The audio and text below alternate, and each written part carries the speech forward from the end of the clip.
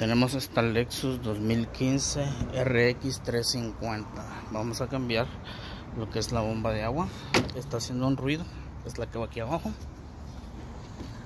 Es esta que ven acá. Si ocupan el número de parte. Y se ve así. Esta es la bomba de agua y el sello. Lo primero que vamos a hacer es quitar este cover y luego de quitar el cover quitamos este soporte del motor este bracket y este otro bracket que ven acá. Como ven este es el bracket. Aquí abajo lleva otro bracket y luego se quita este. Ahora quitamos esta parte tiene tornillos abajo.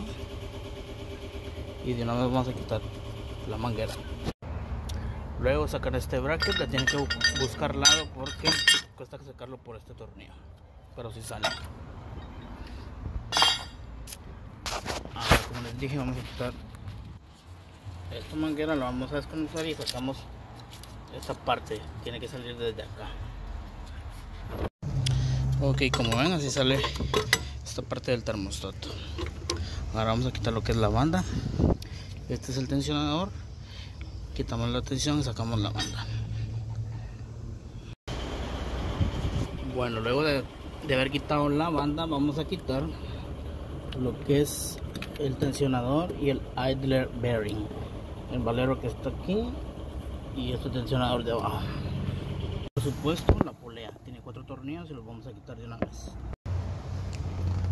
Lo que es esta polea va a salir junto con la bomba.